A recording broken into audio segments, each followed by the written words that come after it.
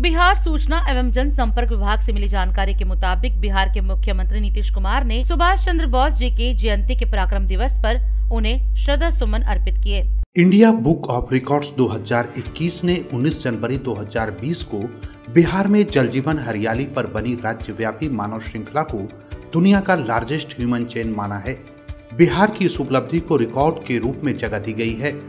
गौरतलब हो कि माननीय मुख्यमंत्री श्री नीतीश कुमार की पहल पर बिहार में पर्यावरण संरक्षण, शराबबंदी और दहेज उन्मूलन को लेकर मानव श्रृंखला बनाई गई थी।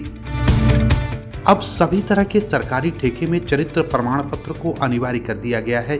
अब कोई भी ठेका लेने से पहले ठेकेदार को पुलिस अधीक्षक कार्यालय से जारी किया गया चरित्र प्रमाण पत्र जमा करना होगा। मुख्यमंत्री श्री नीतीश कुमार के निर्देश पर मुख्य सचिव, गृह सचिव और डीजीपी की संयुक्त बैठक में यह निर्णय लिया गया। राज्य सरकार द्वारा जल्द ही सभी विभागों को आदेश जारी कर दिया जाएगा।